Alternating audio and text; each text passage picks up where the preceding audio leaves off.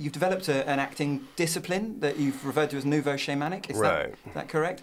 Yeah. What are the core principles? I've been told that um, all actors really hail from the early medicine men and the, and the shamans in the villages pre-Christianity, where they would put on masks and, and act out, and and really what they were probably pretty crazy, but they would go in and find answers to questions. Today, you're called psychotic if you do that, but it's all it's all uh, semantics. So what I would do is I'd put on Afro-Caribbean paint, like a white and black paint, and black out my eyes so I look like this sort of Afro-Caribbean voodoo icon.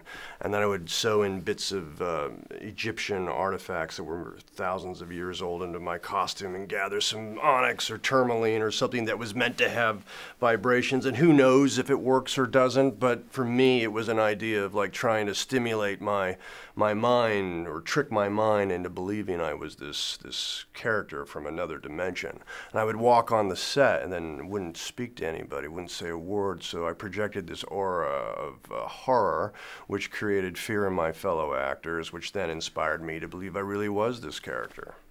Exciting. I'd love to be on set with you. Yeah, thanks.